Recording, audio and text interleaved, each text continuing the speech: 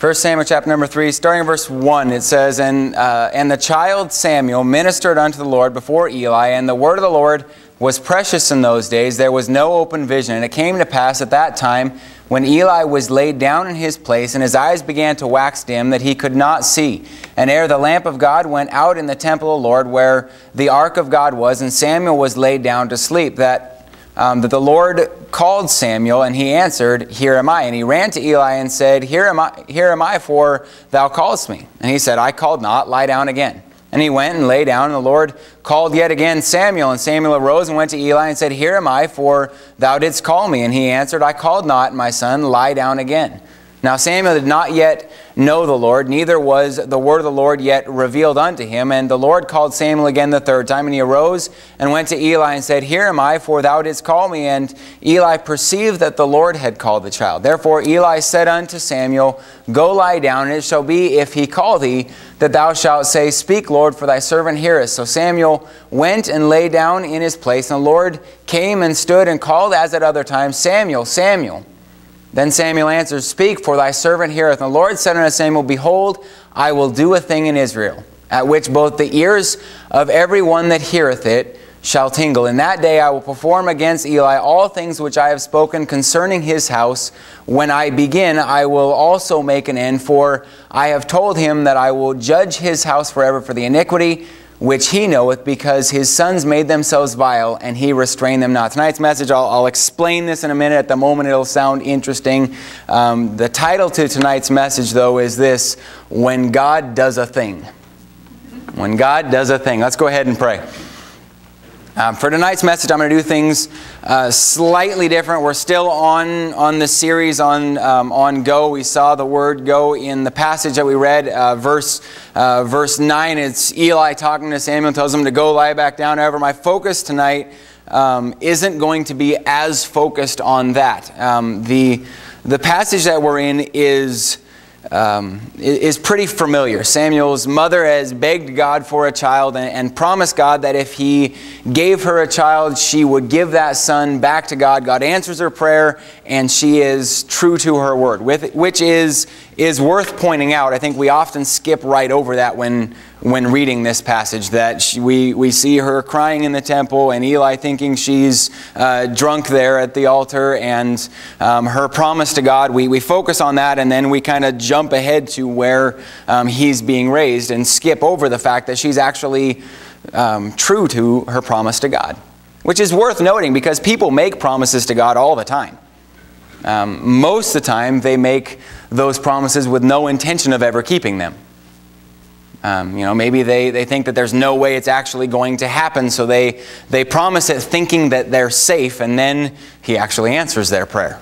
Um, you hear people who, you know, will make some sort of ridiculous promise to God. You know, they're in, they're in a bind, and God, if you, if you answer this, I'll, um, what is the uh, one I heard recently? I will crawl on my hands and knees up the cobblestone steps to some temple somewhere, I don't know. But so, a ridiculous promise to God, as if they're really going to make God decide to answer their prayer by, you know, making this ridiculous promise. But they, they make a promise to God like that because they think they're never really going to have to.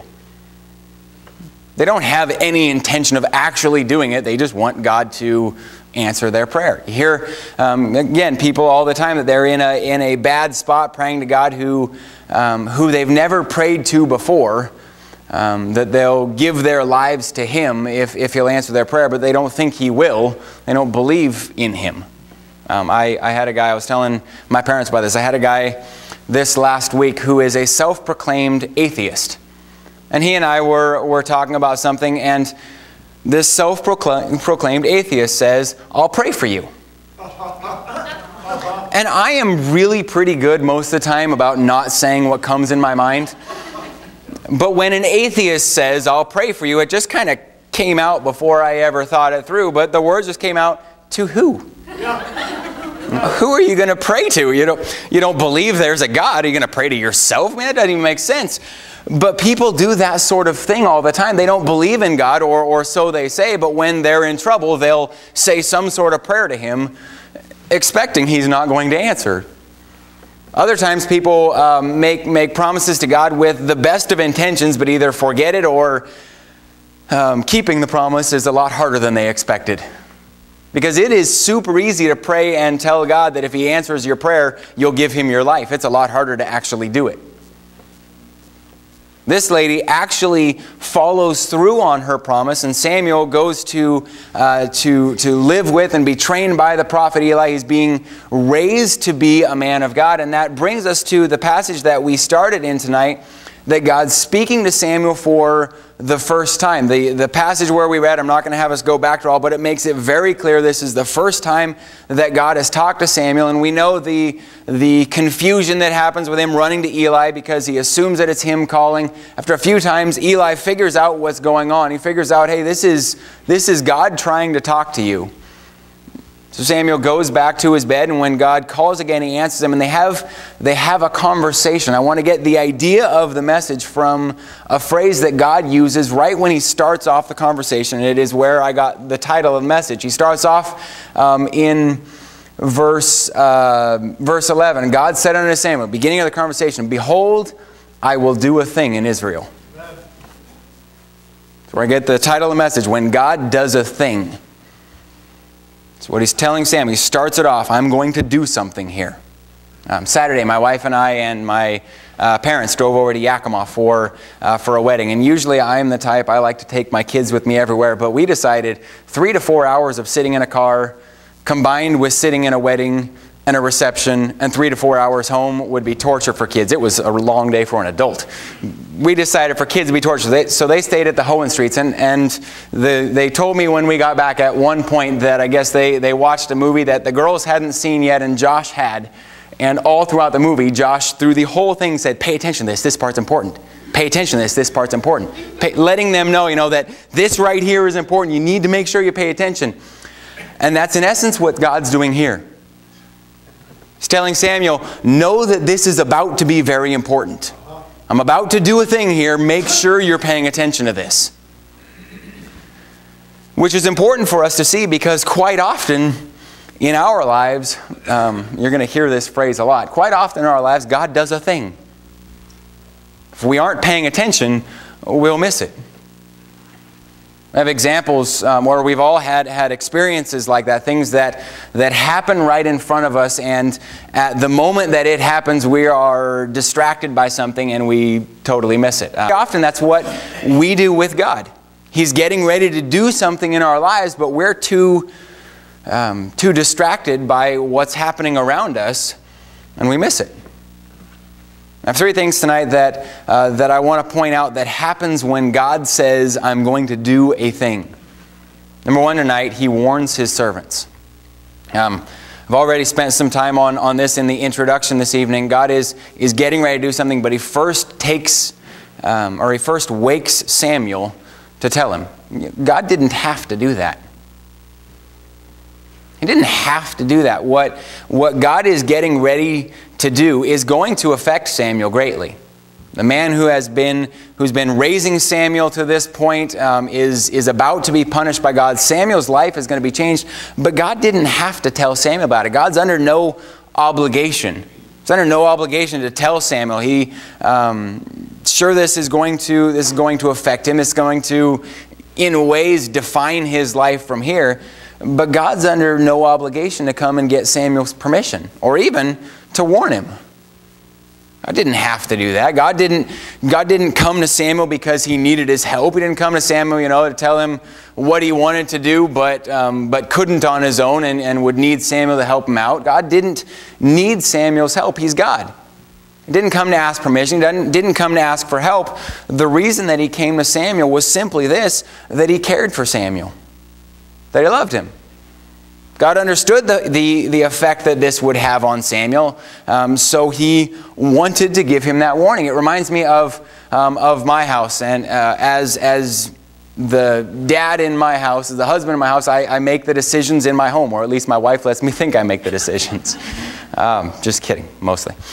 But in making those decisions, um, specifically with my kids, I'm under no obligation to talk to my kids about my decisions. You know, I'm not, I'm not obligated to do that. I'm the parent and they are, they are the child. I make the decisions and as a kid, it's part of life. You simply have to live with the decisions your parents make. I don't need to ask their permission. I don't need their help in making the decisions. But from time to time on big decisions, I'll let them know about them before the decision actually happens. Not because I have to, not because I'm obligated to, but because I care for them and how it will affect them. I could give example after example in the Bible of God getting ready to do something, but first warning his servant. I'm just, going to give a few. I, I spent some time this week looking at, and, and I could give you a hundred or more examples of, of times where God was getting ready to do something major in the Bible and warning his, his servant. But I decided to be nicer than that, and I'm just going to give you a few of them. The first one, um, starting right at the beginning, Adam. When Adam and Eve sinned, God's getting ready to, to kick them out of the garden. They're being punished for, for their sin. He's getting ready, if you will, with our phrase, to do a thing here. But before he does, he tells them what he's going to do. God didn't have to explain himself. He didn't have to explain to them their punishment and what was, what was going to happen because they're sin. He could have just made it happen. It could have been that, that Eve took that bite, Adam took that bite, and next thing they know, they're standing outside the garden with an angel posted at the gate. Sorry, you're not coming back in. It could have been that simple. Um, I think they would have gotten the picture that, hey, we messed up. But he didn't. He warned them. He took the time to explain to them what was going on. Another example Noah, again, God getting ready to punish a people, but first warns his servant. The wickedness of the world, um, uh, or the wickedness, the, wick, the world had gotten so wicked, God's going to, to destroy it and would have been his right to destroy them all and just start fresh. I mean, he made it, he has the right to do that. As a kid, um, my brother and I loved playing with Legos, and we would, um, you know, we'd follow the instructions the first time and make it how they say, and then normally we would make our own thing, whatever it was. You know, I've always wanted a Lego this. Bo, one time it was a helicopter, and so he just started taking pieces and, and making a helicopter. You know what? The best thing about Legos is if you build something and it doesn't turn out how you want it, you just smash it in a million pieces and start again. You just tear it apart and start again. God could have done that. He made it. He could have just said, you know what? It's all gone. I'm starting again. But he didn't. He warned his man.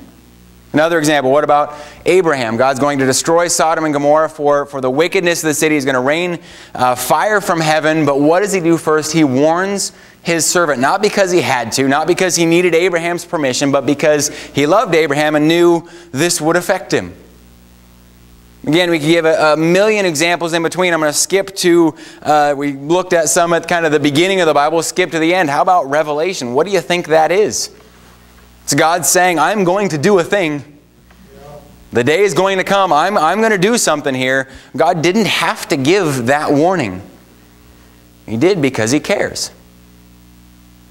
He did it because, because He cares. And the same is true in our lives. When God is going to do a, a big thing, he warns his servants as long as you're awake enough to hear. As long as you're awake enough to catch it. And God's going to do a thing, number two, the wicked are dealt with. Um, or a less nice way to say it would be the wicked are destroyed. Look back at our text, verse 12 through 14. In that day I will perform against Eli all things which I have spoken concerning his house. When I begin, I will also make an end. For I have told, uh, for I have told him that I will judge his house forever for the iniquity which he knoweth, because his sons made themselves vile, and he restrained them not. Therefore, and therefore I have sworn unto the house of Eli that the iniquity of, of Eli's house shall not be purged with sacrifice nor offering forever. The, the sons of, of Eli had done wickedly, and God says, It's time I judge them.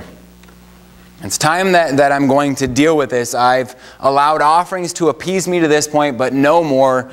Um, that's the, the thing that he's going to do here. Um, I, I, thought about tonight going into exactly what his uh, son's wickedness was. I'm not going to go into a ton of detail on that because the passage gives us what God's judging them for. Starts it off for their iniquity, their actions against Him. He's, he's judging them for being vile, being judged for um, being judged for, for these things, I think we can understand. We can, we can agree that iniquity, sin, should be judged. We understand verses telling us, telling us that there is, is a price for sin. So we understand that, that iniquity should be judged. I think even most people in the world would, would agree that, that wickedness should be punished. And we're all okay with and agree that, that the um, vile should be judged. Those things that are just kind of plain offensive. I don't use the word. Um, vile often. I was thinking about it. this is not a word we use real often, but when I do, I can guarantee that it's something that should be dealt with. When we say something is, is vile, it's something we want dealt with. Um, give an example here. Dirty diapers are one of those things I think of as vile. Um, which is why when Lisa and I had our third kid, I made her agree that she would change every brown diaper. Didn't hold her completely to it, but pretty close diapers are vile, and they ought to be, or dirty diapers are vile, and they should be dealt with. Where we tend to, to struggle, so we can see, you know, okay, something vile, it should, it should be dealt with, it should be, it should be judged. But where we tend to struggle to understand is the third reason that God gives for judging, and that's simply this that Eli didn't put a stop to it. That Eli didn't put a stop to it. Look at, at the end of verse 13. It just talked about that his sons, their, their iniquity, and they've made themselves vile, and he, talking about Eli, restrained them not. Part of what Eli and his sons are being judged for is that he didn't stop them. Not that he participated in their sin. Not that, that he encouraged it, but that he didn't stop it. The passage again says he didn't, he didn't restrain them. Eli is being, is being punished because his children were doing wrong, and he didn't do anything to put a stop to it. Now, here's what, what it got me thinking as a parent. Um, it's wrong not to teach your children right. As a parent, we, we understand that it, is, that it is our job, but I think we don't take it as serious as it is. We see that it's our job. We see that we ought to teach our children right from wrong, but Eli here is being judged of God because he didn't stop his children from doing wrong. Because he didn't, he didn't um, punish his kids. I'll use that. God, God is punishing him because he didn't punish them. In other words, it, it puts some importance on parents correcting their children.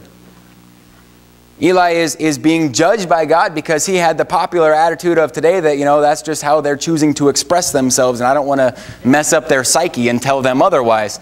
As parents, it's our job to mess up their psyche and teach them what's right and what's not and what their psyche ought to do. They're, I'm going to stop there. I, I could go with that. God says, You've done these things, these things wrong. I, I've allowed it for now, but it's time that it gets dealt with. Because when God does a thing, the wicked are dealt with. The other examples that we, uh, that we saw earlier show exactly the same thing. Adam and Eve, when they're, when they're um, sent out of the garden, this is wickedness being dealt with. They had, had gone directly against the, the one rule that God had given them, the one thing God told them they were not to do, and they went against it, and they're being punished for it. Noah, um, the, the world is wicked so much so that, that the Bible makes it clear that, that the only one who didn't fall in the category of being wicked was Noah. The purpose of the flood was to deal with or destroy the wicked. God didn't do it on a whim. He did it to deal with the wicked. Abraham, uh, the entire reason for God destroying Sodom and Gomorrah was because of, of the wickedness of the city. The Bible makes it extremely clear that, that it was a, a wicked and vile place, and God destroyed it because of that. The other example I gave earlier was Revelation, where God again comes to deal with the wicked. When he decides it's time to come and do a thing, he warns his people, but then he destroys the wicked. He judges iniquity. And at first thought, that sounds um, like a really good thing. And it is a really good thing as long as you're the righteous. As long as you aren't the one full of iniquity that he's come to judge. Um, in the case of Eli's sons, their, their sins were, were pretty obvious. The people knew their wickedness, but when you think of God judging the wicked, the prophet and his sons are not typically the ones that, are, that you're going to think of. When you think of, you know, God's coming to, to destroy the wicked, God's coming to, to, to punish iniquity, you're not thinking, oh, he's coming to deal with the prophet. And you would think that if there is someone who is righteous in this passage, it ought to be the man of God.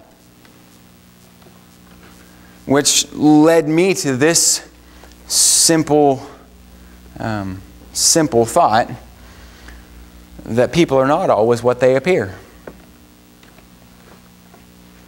just because um, you, come, you come to church and put on a smile and, and a nice show doesn't mean that your life behind closed doors isn't filled with iniquity. And you and God are the only ones who know that. Just throw that out there as a bonus. Deal, deal with it, or I'll, I'll put it this way deal with it before God decides to do a thing.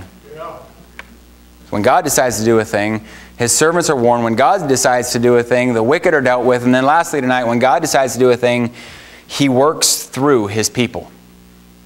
The passage that, that we started with tonight, God speaks to um, this, this young man Samuel, or, or as the, the passage started with, the child Samuel. Um, and then, after speaking to him, speaks through him. God speaks to him in the night, and then the next day, immediately after after he wakes up. Um, oh, I just lost what verse it was. Uh, verse 15 And Samuel lay into the morning and opened the doors of the house of the Lord, and Samuel feared to show Eli the vision. Then Eli called Samuel and said, Samuel, my son. And he answered, Here am I. And he said, What is the thing that the Lord said unto thee? I pray thee, hide it not from me, God. Uh, God, do so to thee, and more also, if thou hide anything from me of all things that he said. And Samuel told him every whit. Next day, God uses him to tell Eli what he had said. And I want us to, to see this from both sides a little bit because, first off, I want to see the difficulty of this. Think of, of how hard this would have been for Samuel. For starters, this is your family. I know not, not by blood, but Eli is the man who is raising him, would have been like a father to him coming to him and saying, coming to the man who is, is raising you and saying, God's going to judge you, that wouldn't have been easy. And that isn't even taking into account Eli's sons, who would have, in essence, been older brothers to him. You know, this, this message would not have gone over well that God's going to destroy you, and oh, by the way, I'm going to be the one stepping into your place. That isn't going to be received very well. If you don't believe me, read about Jacob telling his brothers his dreams and them, them bowing down to him. They tried to kill him over it and eventually sold him as, as a slave. This message is not going to go over any better than that. This isn't going to go over well. It's going to be, to be hard because they're family, and I'm sure that, that despite their wrongdoing, he still would have loved them and didn't want to see them punished. They, they deserved it, yes. They, yes, they had, had done wrong, but wrong or not, when, um, when you love someone, you don't like seeing them go through something like this. This is going to be, to be hard. It's going to be hard because it's family. It's going to be hard because, simply put, it's a hard message. Delivering a, a message of judgment is not an easy thing. If I could preach um, good news all the time and only, you know, tell people happy things and always preach gumdrops and lollipops, that would be great. You know, it really would be nice. You preach a message about, about, um, about judgment or, or approach someone about wrongdoing, they get mad. They don't like it. The problem with that is the Bible is more than just gumdrops and lollipops. I don't know where I got that phrase from. I'm not really sure where that came from but I'm sticking with it. The Bible's more than just gumdrops and lollipops. Delivering this message for Samuel would have been, would have been very, very difficult. But then the other side of this, um, the other side is, is this. The, you see the, the difficulty of this, but also, um, I, I tried and tried to come up with a good way to put this and never could, so I'm just going to put it this way. The great step that this meant. From this point, um, Samuel now um, steps in. Yes, this is a, a hard message, but then God places him in a position to be used of him. When, when God does, does a thing, He uses His people. And yes, there are times that, that are hard. I would love to tell you that, you know, ministry is, is always easy. I absolutely love it and wouldn't change it for the world, but it isn't easy. There are, are times that it's hard, but if we allow Him to use us, He'll use us to do mighty things. Here's the conclusion this, this evening of, of the message. Um, I'm really going to bring it down very, very simple. When, when God does a thing in your life, which side of it are you going to be on? Simply that. Which side are you going to be on? The, the one God is having to deal with, or the one that God is using? When God does a thing, he warns the righteous, the wicked are dealt with, and he uses his people. Let's pray.